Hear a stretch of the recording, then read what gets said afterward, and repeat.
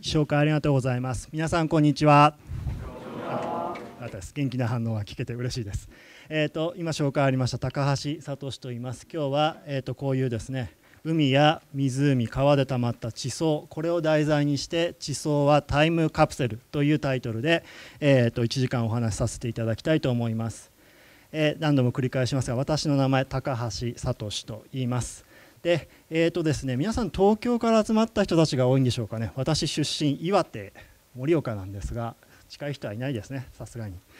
えーと、岩手の高校を出てそれから宮城の大学を出てですね博士課程を取って今東京大学の、えーと、地球惑星科学専攻というところで助教をしています。どんなことをしていますかと言いますとですね、えーと地層を探しに出かける地質学フィールドワークをしたりしますしそれから化石を探す古生物学それから化石が出てきた地層にどんな、えーと、科学的化学的もの物質が含まれているのかという地球化学の分析を、えーと、専門にしてですね研究の活動を行っています。で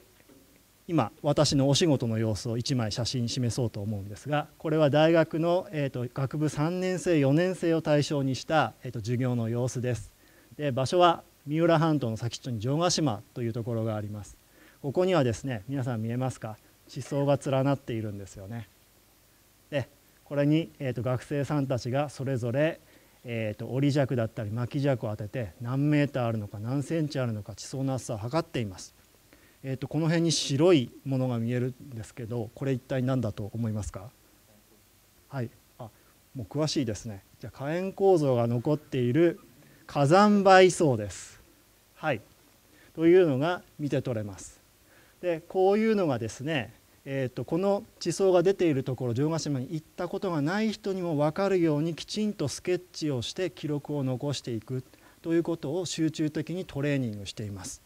これによってですね、えーと、海かつての海でたまった、えーと、泥や砂がたまっているところにピンクで示している火山灰が何回降り積もったのかそれがどれくらいの間隔なのかということが正しく記録されていくそういうトレーニングをしているわけです。ではこういう記録が正しくできるようになるとどういう面白みがあるんでしょうかということです。これは私の研究の様子です。えっ、ー、と中学生の皆さんはこっちに座ってる人が多いですか？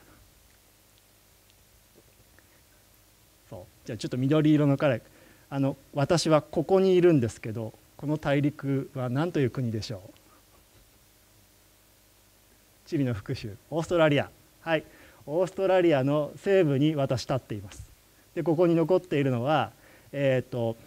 かつての海でたまった地層なんですけれども砂や泥石灰岩でたまってる地層の下にですね赤い泥岩がたまってるんですが泥がたまってるんですがこの中にはかつての氷が削り氷床が削り込んできた瓦礫の、えーと白い粒がポチッポチッポチッと入ってます。でこれ時代を過去に調べてみるとえー、と5億8,000万年前7,000万年前ってエリアから生物がちょっと出てくる前のちょっと前の時代だということが分かっていて実はじゃあエディアカラ紀の生物が出てくる直前にはこういう氷がこのオーストラリアのところにあるって地層から読み取れたりするわけですね。また今度は場所が移ってきました。じゃあ青い人に行きますか。これ私ここにいるんですけどこの国なんとかです。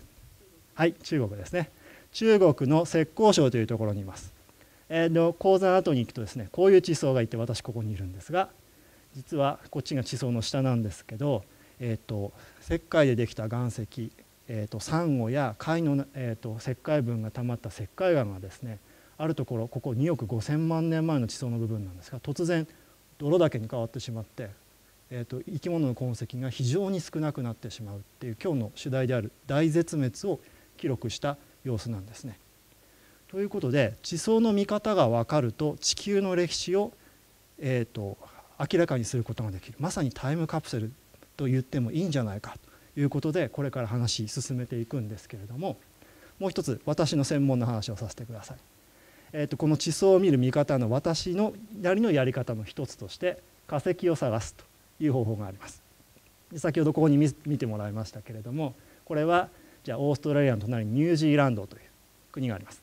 ここのある島にですね赤い色と灰色の色をした地層がずっと連なっているんですけれども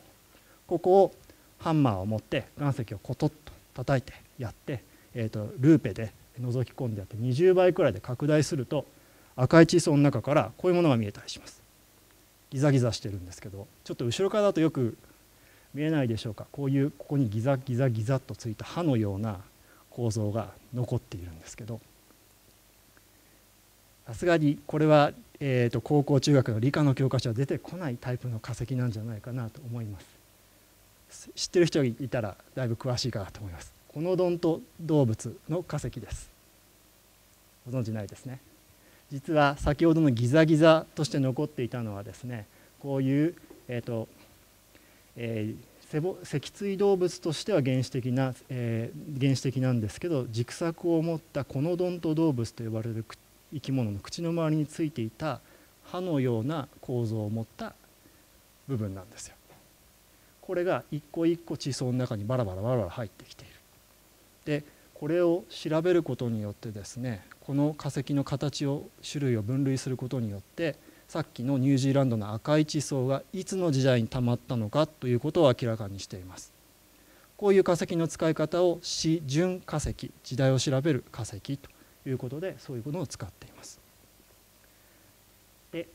えー、とこのようなですねルーペを使わなければいけないそれから顕微鏡を使わなければ見えない非常に小さい化石を漢字の小さいという言葉をつけて微化石というふうに呼んでいます。えーと、古生物が好きな人が集まっていただきましたが皆さん古生物というのでイメージ湧くのは恐竜とかマンモスとかアンモナイトとかそのすごく大きなものを想像するかもしれませんけれどこういう、えーと、1ミリにも満たないような化石がたくさんあの地質の研究の中では活躍しています。なぜならば地層の岩石一つ持って帰ってきた時にあの小さい化石の方がたくさん入っている可能性が高いですよね。それから連なっていく地層の中でたくさん連続的に化石の記録を探そうとしたら小さいものを探した方が入っている確率は高いですよね。こういうことによって、えーと、地球の歴史を考える時にこういう小さな化石は非常に今便利な化石として注目されています。今日先ほどお話ししたのはこのコノドントという形の、えーとこの形をしているえー、微化石なんですけども他にはですね今日登場してくるのはガラス質な殻を持った動物プランクトン放散虫それから、炭酸塩質な殻を持った、えー、タイプの有効虫というものそれから、えーと、古い時代にはなかなかいませんが遠赤層や珪藻あとはおなじみ花粉というものが微化石の研究では役に立って研究しています。さて例えばこういうような、えーと地層の研究の仕方があるわけなんですがえそうやって解き明かしていこうとしている地球の歴史どれくらいあると思いますか？先ほどの講演でもお話が出てきましたけど地球の歴史は45億年ありますよね。で45億年いろいろな事件が起きても生物が殻としてちゃんとしたあの化石として目に見えて残ってきているのは最近の6億年間の憲政代という時代です。でここをさらに大きくしていくとですね古生代それから恐竜の時代の中生代それが絶滅してしまって今新生代という時代の今一番上のちょっとだけの時代を私たちは生きているとそういう時代になるわけです。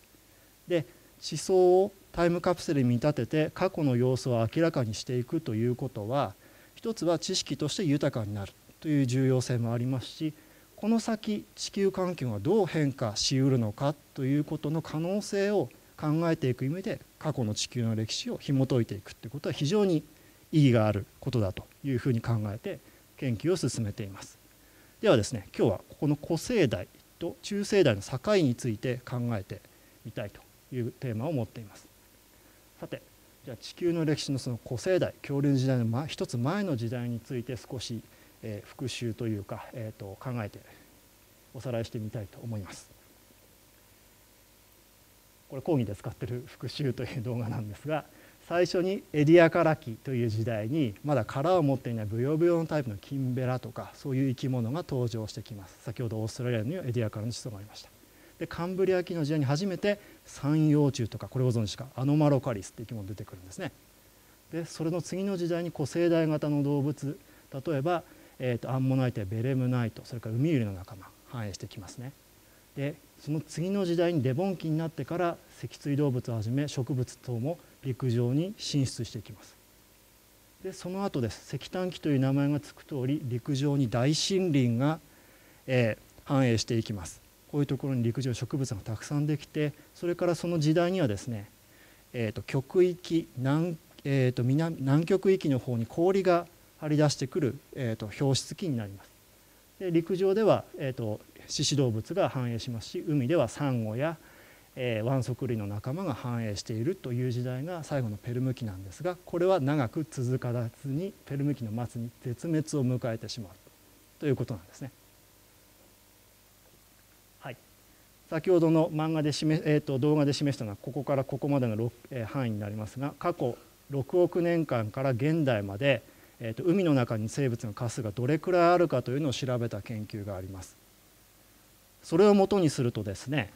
えーと、順当に生物の種類というのは増えていくんですけどここ例えばここそれからここそれからここ生き物の種の数が極端にストンと減少してしまうっていう出来事があるというのが見て取れます。こういう一度に、えー、と消滅してしまってその種があるその後消滅して続かなくなってしまうっていう現象を大量絶滅と呼んで私たちは研究を行っています。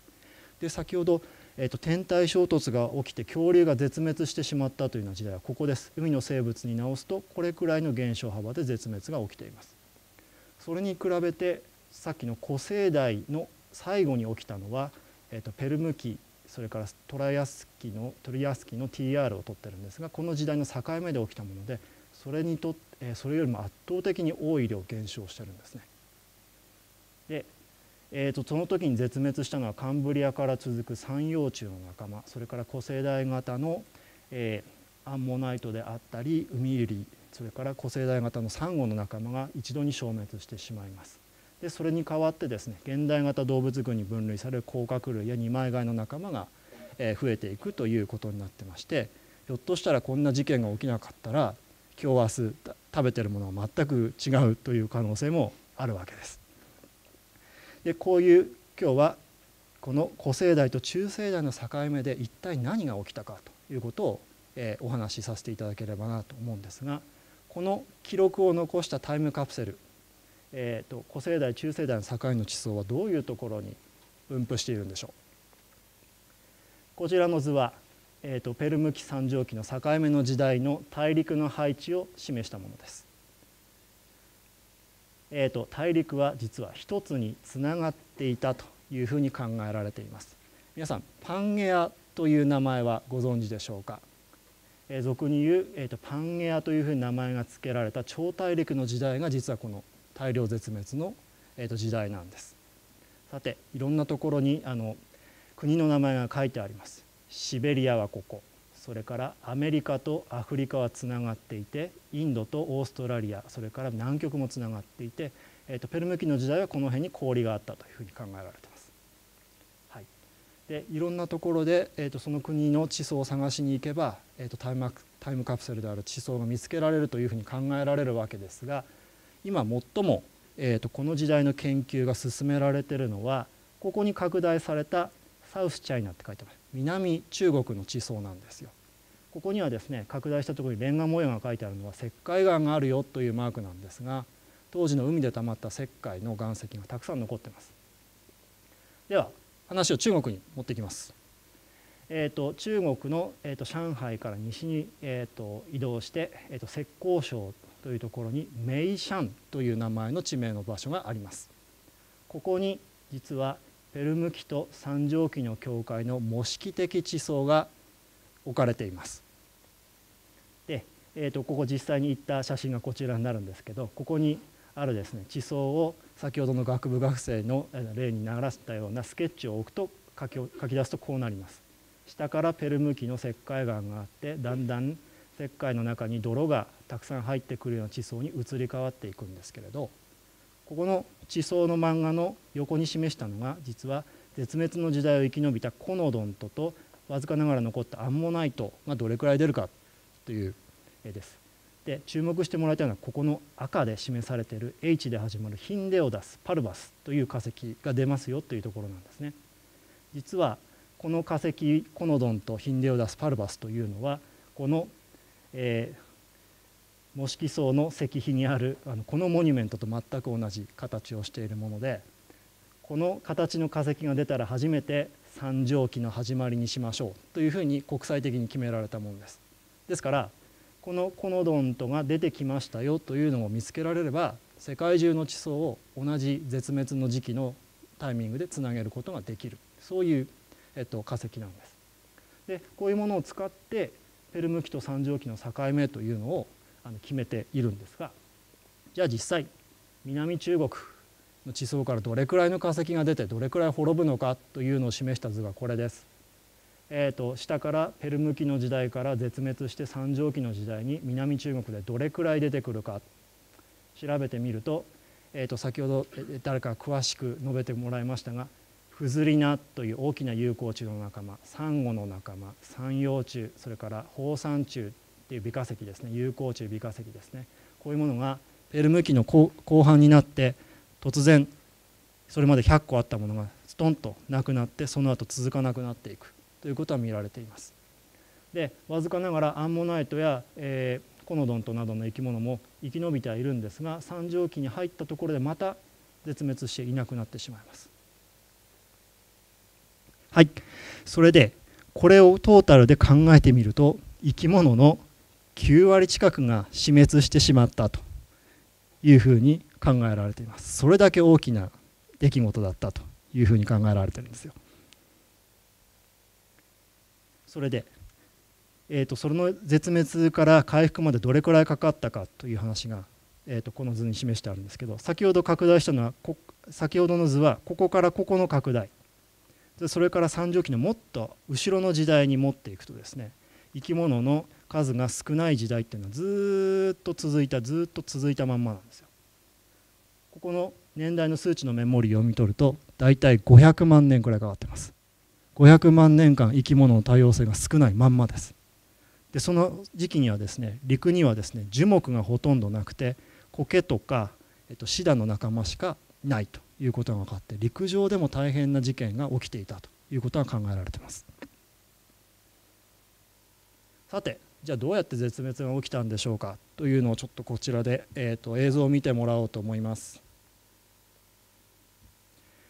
はい、火山活動があるところで獅子動物ディキノドンでしょうかが、えー、苦しそうにしてますね。はい、火山がどんどん吹き上がっています。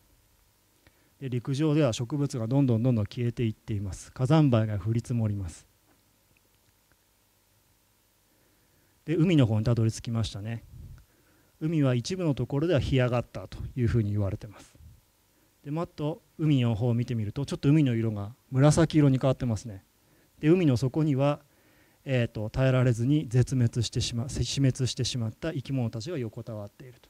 こういう図が今の、えーと地層の研究から明らかになっている大量絶滅期の想像です。で先ほどの動画の一番最初に火山活動が出てきました。どんな証拠で言われているかとどこに火山がありますかと証拠がありますかというとシベリアにあります。シベリアに行くとですねこんな大きな、えーと、玄武岩と呼ばれる火山の岩石がたくさん出ています。でそれを地図に起こしてやって点線で囲ってこのエリアにありますよっていうのを数えてみると大体10の6乗平方キロメートル以上広がっているというふうに考えられています。でこれがいつ噴出したかというのをですね調べた研究者がいてこの点がそれぞれが1個が1個1個が研究成果なんですけど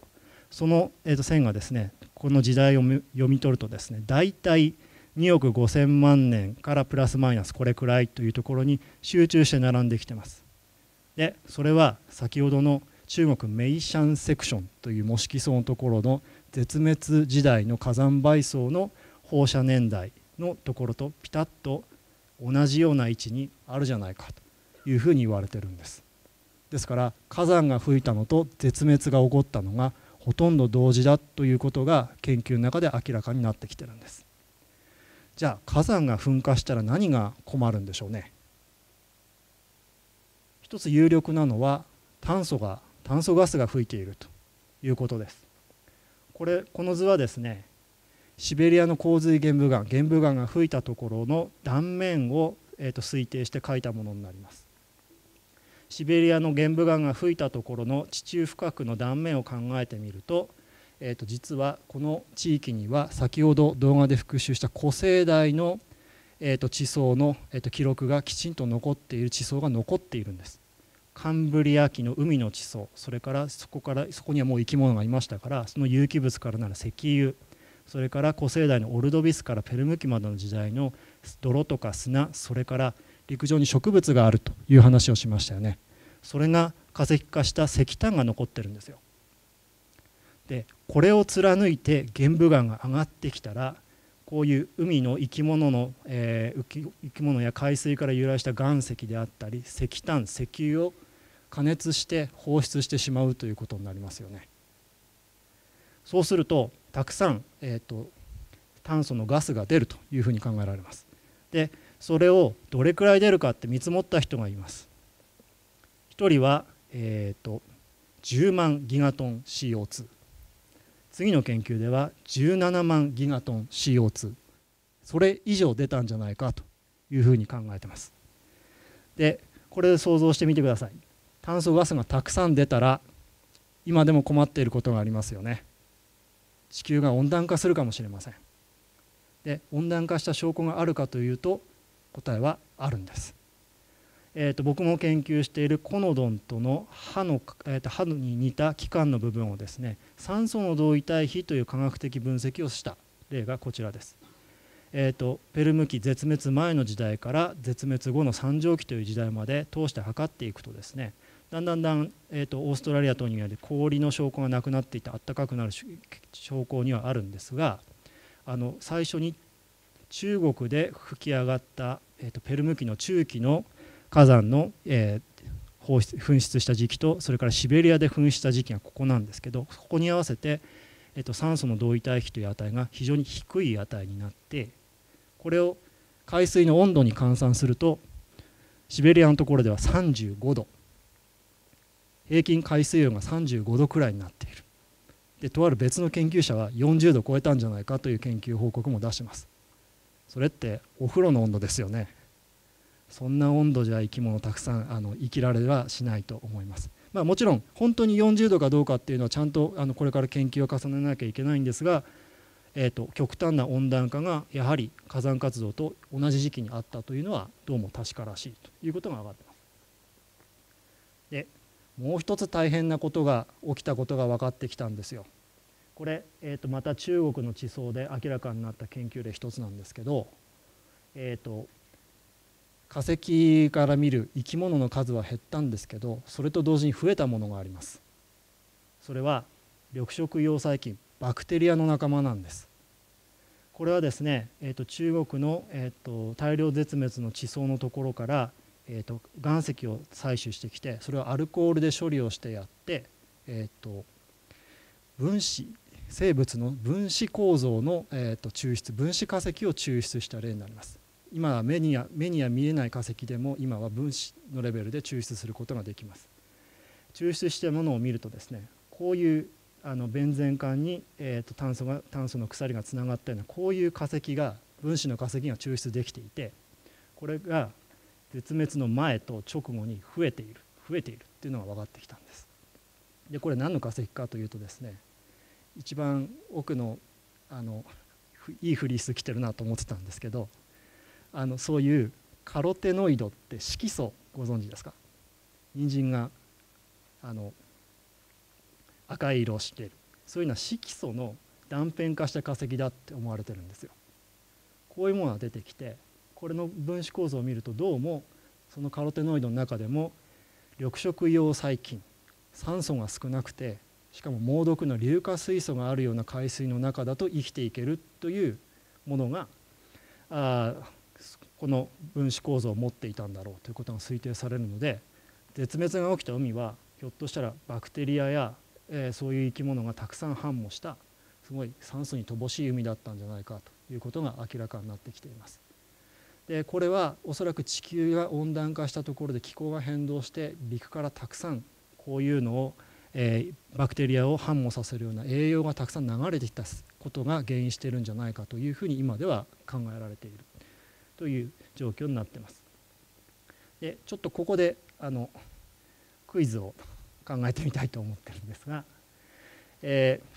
シベリアの大地で石炭を焼いて石油を焼いて上がってきた炭素ガスで温暖化したってなんか最近の現代地球環境でも同じようなことが言われていますよね。えーと、それではそれって過去のえーと、現代地球環境と過去の大量絶滅期の CO2 の放出量ってどれくらい何倍というレベルで比較できるんでしょうか。IGCP で、えー、の報告 IPCC の報告書で出てきているところを、えーと、鵜呑みにするとですね、え、採用すると35ギガトンカーボン1年くらい出てるというふうに考えられます。で先ほど紹介した通り10万ギガトン、えーと以上炭素ガスが出たと考えられます。ちょっとこれとこれをノート取ってる人たちもいると思うんで割り算してみてください。この炭素量をどれくらい続けると絶滅が起きた時と同じくらいの炭素の放出量になりますか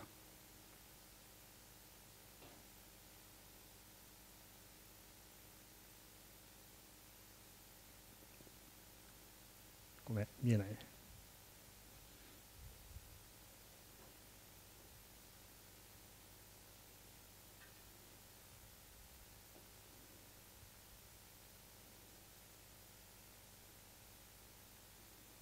できました？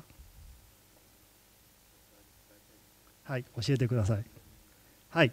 そうですね。計算してみると3000年を下回るくらいになると思いませんか？多分2800ほにゃららららとなります。ですからえっ、ー、とこういう炭素ガスの放出が数千年続いた後にひょっとしたら同じことが起こるかもしれない。炭素ガスの観点からだけ見れば。ただクエスチョンマークつけたのはどれくらいのスピードで、えー、と出てくるのかまだ分かっていませんしそれによってですね海とか植物プランクトンとかが炭素を吸収するかどうかまだ分からないのでまだ不確定要素はあるけれどもこの時代の絶滅期の時代の様子を知ることはこれから1,000年先数千年先数万年先を見通すことになるんじゃないかと。そういう意味でのタイムカプセルにもなりうるんじゃないかということを伝えたいと思います。さてそれではですね、えー、とここまでの話だとどうも火山活動がシベリアで起きてそれで温暖化が起きた後海が無酸素化したことによって生き物が一度に滅んでしまったんじゃないかということが言われてきました。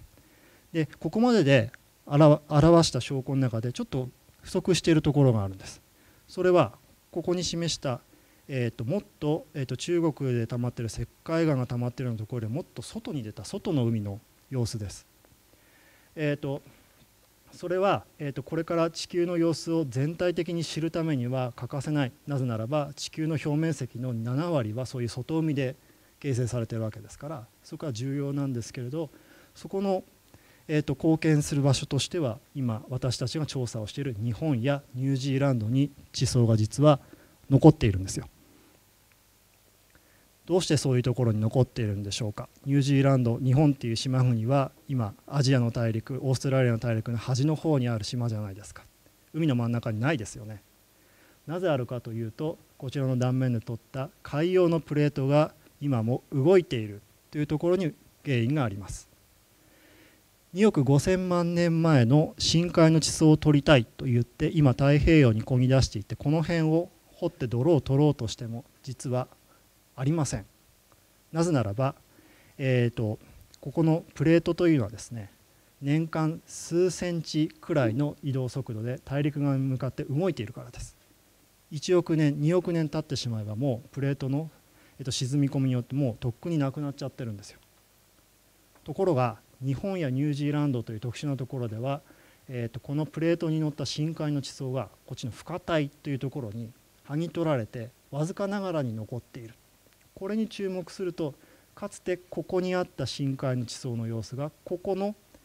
大陸の端にある深帯と呼ばれている基盤岩のところで、えー、と明らかになっていく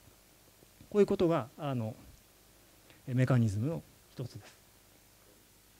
でここから私の研究の話をします。これ、えーと、2004年とか2005年くらいの私です多分20代前半の頃です。えー、と何をしていますかというと,、えー、とおにぎりとラーメンを茹でて山の中で食べてます何をしているかというとそういうことなんですがその何のために行ってるかというとですね岩手県の北部にそういう深海の地層が残ってるところがあってそこを最初のスライドで見せた学部生と同じようにどんな地層が分布しているのかということをきちんと調べるという研究をしてたこういう地図を書いていたんですね。で地図の詳細は省きますがこの島々で残っている島々で残っているところが、えーと、海の底でたまった深海の地層があるところだっていうことが分かってきました。で、えーと、私のもう一つの専門であるコノドンと微化石で、えーと、年代を決めてやるとですねこの太い横島のところは中生代三畳紀という時代絶滅の、ま、後の時代の研究それからこっちのちょっと,、えー、と混んだ島それから横島のところは化石を調べてみると古生代絶滅よりも前の時代の地層だということが分かってきてここに注目してください。絶滅前の地層と絶滅後の地層が非常に近いところに残ってるってことが分かってきたんですよ。でこれを長く研究を続けていくとこの部分とそれからこの地層の延長上にですねなんと日本にもこの絶滅を記録した深海の地層の連続したものが残っているよということが明らかになってきたんですよ。はい、写真を拡大したものはこちらです。えーと、こちらが、えーと、地層の下でこちらが地層の上です。えーと、最初は顕微鏡で見てみると放散虫と呼ばれている丸い化石の殻でびっしりなんですがだんだんだんだん数が少なくなってきて真っ黒い地層に移り変わります。でこの真っ黒い地層の中をですねコノドンの化石を探してみるとここからここから、えーと、ヒンデオダス・パルバスという中国の模式層で三畳紀とペルム紀の境目を決めましょうといった化石と全く同じ属種の化石が見つかったんですよ。すなわち世界中の研究が進んでいるペルム紀と三畳紀の境目を岩手県ではここに位置するよこの範囲に位置するよということが分かったんですね。じゃあその研究の成果地層の下から上に、えーと、紹介していきます。まず顕微鏡で見てみると放散虫をはじめとした化石の数はどんどんどんどん減少していくということが分かりました。それからそれに合わせてですね増えていくものがあって何が増えてるかというと有機炭素の含有量えっと、有機物からに含まれている炭素の含有量が桁一つ増えていくということが分かってきていましてこれがどういうことを示しているかというと化石が一度に死滅なくなってしまうような放散地の殻が放散地が死滅してしまってなくなってしまったということと,、えーと、海の中にそういう、えーと有機物のドロドロしたヘドロみたいなものがたくさん出てきてそれからそれが分解海底で分解できなくなるような酸素がないような状況に変わっていっちゃったという連続的な記録として考えることができます。で見つけたということですごくトントン拍子に言ったように聞こえるわけじゃないですか。ところがこれが2006年にこの証拠を見つけつつあるところからそれからがなかなか大変でした。まずは岩手県にそういう地層があるなんて誰も知らないわけですよね。みんなに納得してもらわなきゃいけないです。そのためにはさっきの化石などの証拠を日本国内外にえーと、紹介して発表して回るということが必要でした。それから、えーと、論文を書いていろんな人たちに知らせなければいけません。もちろん日本語だけではなくて広く読んでもらうためには頑張って、えーと、不得意でも英語で書かなきゃいけなかったです。でこういうのを積み重ね積み重ねですねこれは今年その地層の前で撮った集合写真です。えーと、IGCP630 という、えーとプログラムなんですがえーと、世界中の研究者が集まって絶滅を研究して議論するという集まりがあるんですが中国アメリカイギリスはじめとした、えーと、研究者たちがですね一堂に岩手県に集まって地層を見たりサンプルを取ったり一緒に研究しましょうという話をするということができるようになりました。ここまでにじゃあ2006年から始まりましたから10年以上かかったんですね。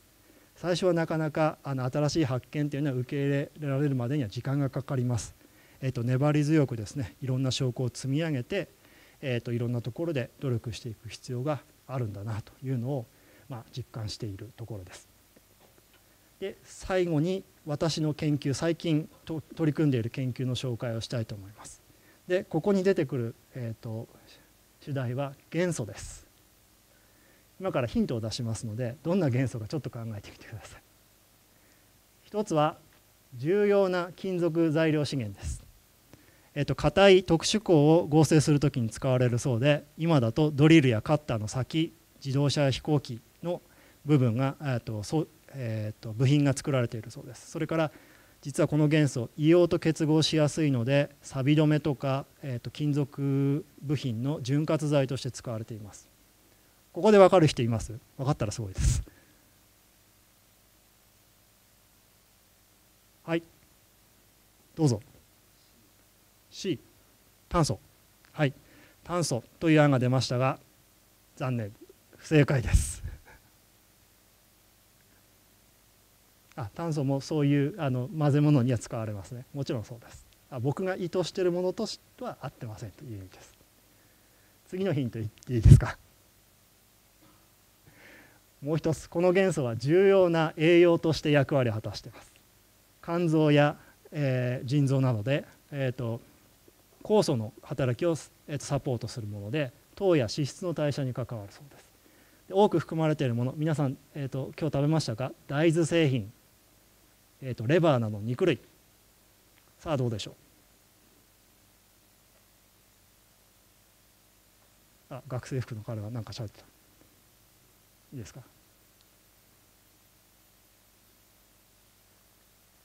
ちょっと難しいですね。はい。じゃあ答えを述べます。知ってますか？モリブデンという元素があります。はい。こういうあの資源としても重要栄養としても重要なモリブデンが次の話のちょっと主役主役になります。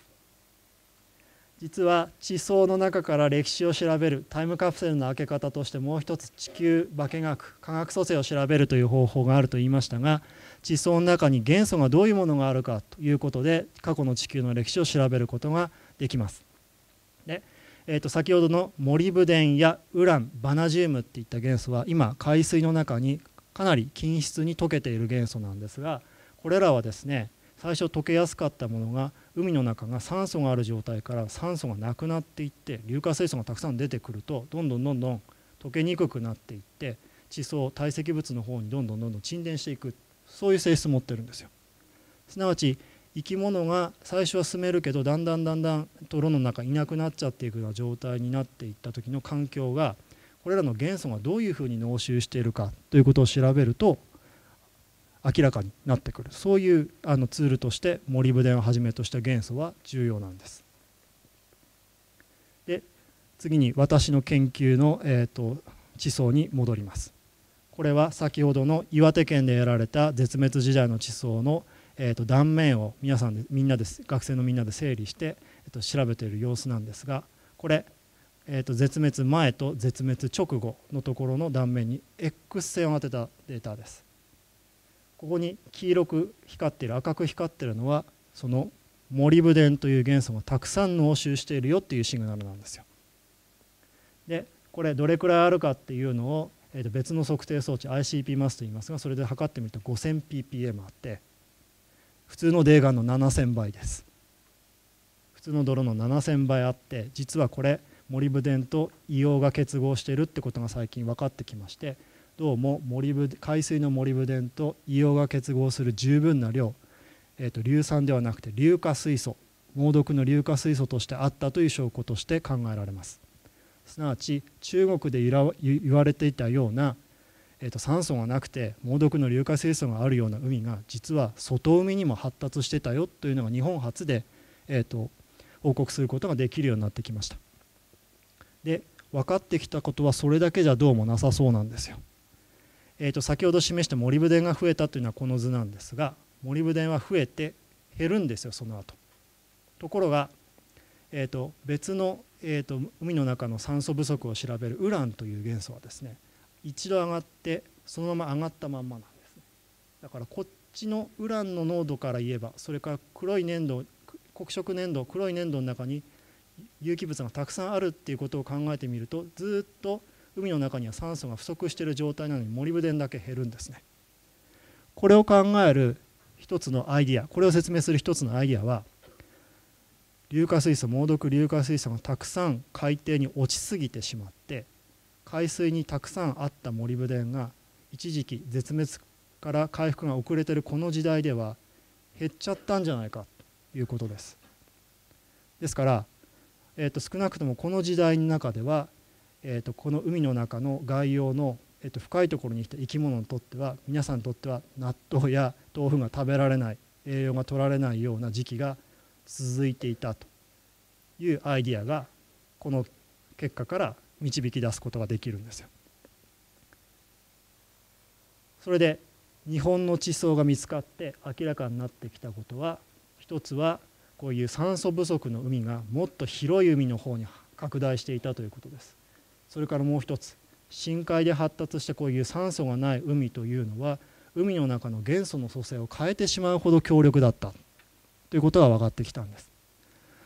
で次の問題点としてはどうしたらそんな外海のところまで酸素がないような状況を作れるのか。そういうメカニズム。それからそれはどれくらいの範囲に広がっていたのか。ということを考えていかなければいけない。というところになって今、えー、と私はじめ、えー、と学生さんたちと協力して今研究を進めているまさに途中です。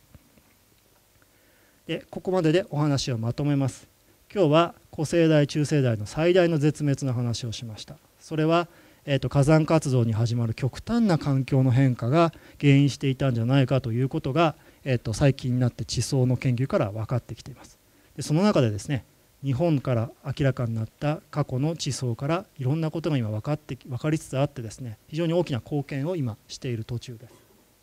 でこの例から見てですね地層というタイムカプセルをどうやって開けて地球の歴史を解読するかというと、まあ、まずは野外に出なきゃいけないんですがえーと、堆積物の組成や化石それから化学化学組成こういうのを明らかにすることによって、えーと、たくさんいろんな研究課題に取り組むことができます。これをお伝えしたいと思います。是非ですねこういうあの方法を駆使してですね次の調査部隊にですねこの中の誰かが加わってもらえることを期待してですね、えーとこの話をおしまいにしたいと思います。はいありがとうございました。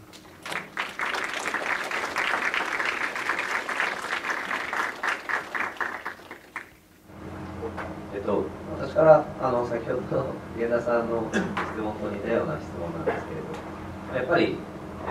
えーと、地学地質学に興味を持ってあるいは化石とか恐竜とかに興味を持ってて将来、まあ、大学でそれを勉強したりとかあるいはその先研究者科学者って考えてる、えー、学生もいるかなと思うんですけれど、えー、高橋さん自身は、えー、どういうところでそれを目指すきっかけになったかっていうのをちょっと知りたいのとあとはそういう高校生たちに高校のうちにこういうことやっていた方がいいとか、あるいは何かメッセージがあればお願いします。目指したきっかけですね。えっ、ー、とさっきあの質問してきてくれた彼を見てちょっと思ったんですが、私化石大好き少年でした。そうですよね。あの恐竜の図鑑とかあの過去の地球の様子っていった恐竜が出てきたりいろんな絵が描いてあるようなものがとても大好きで博物館に通うこともありましたしえー、小学校中学校の何か課題があって何か絵を描きなさい何か作品を作りなさいとか何か恐竜とかアンモナイトとかそういう関連のものを作ってそういう憧れから、えーと、こういう、えーと、思想とか地質学を関連する研究者になりたいなと思いました。でちょっと高校の時とかへのメッセージなんですが僕はあのそうそうやって勉強していったらですね、えーと、実はこの思い通りに恐竜の研究者に今なってないんですよ。でそれはどうしてかというと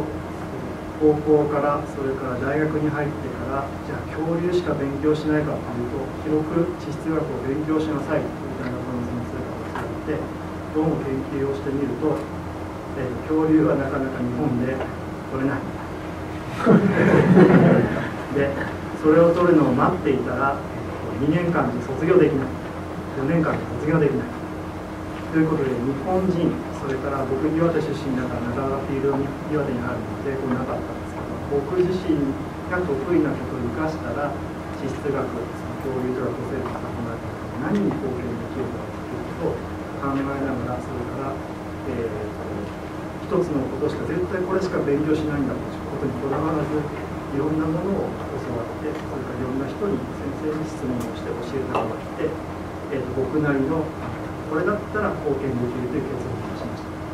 ですからメッセージとして言いたいのは食わず嫌いせずにいろんな知識を身につけていくと、えー、いろんなところで役に立ってちょっと方針が変わってもそれはそんなに気にしない方がいいと僕は思っていますそれが私の考えと